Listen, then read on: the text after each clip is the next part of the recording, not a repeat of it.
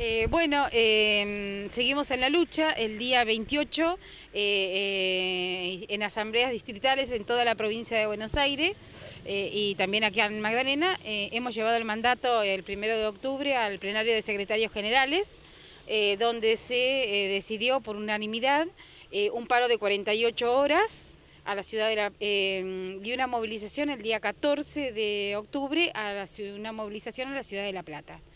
Em, eh, día 9 eh, vamos a estar haciendo eh, acciones distritales, cada uno en su distrito, porque bueno, esto ya no da para más, los salarios siguen siendo totalmente magros, la, em, la, impunidad que hay en nuestros gobernador de no escuchar a los docentes, eh, tenemos problemas de infraestructura, eh, a la vista está que en nuestro distrito hemos tenido eh, una escuela en la que por, el, afán de comenzar la jornada completa lo antes posible, no se evaluaron bien toda la, infraestructura de la escuela y hay un nene que está hospitalizado por esta situación. Se le cayó encima un eh, una columna.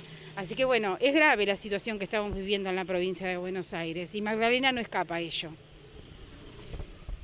¿Por qué cree que es, eh, por qué motivo cree usted que inauguran un establecimiento eh, no terminado? ¿Por qué motivo cree eso? Y eso es política, netamente política. pero la educación no la debe atravesar la política de esta manera.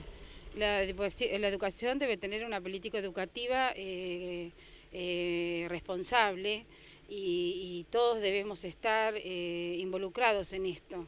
entonces, nosotros no estamos en desacuerdo con las jornadas completas, pero sí estamos en desacuerdo que nuestras escuelas no están no están en las condiciones que deberían estar, los docentes no están pagos de la forma en que deberían estar, nos están pagando salarios en negro, eh, que eso también es muy importante, eh, recalcarlo.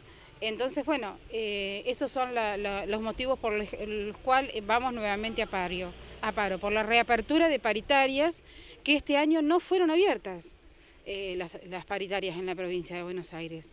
Así que, bueno, nos gustaría que se sumen a esto todos los docentes, porque es un problema de todos.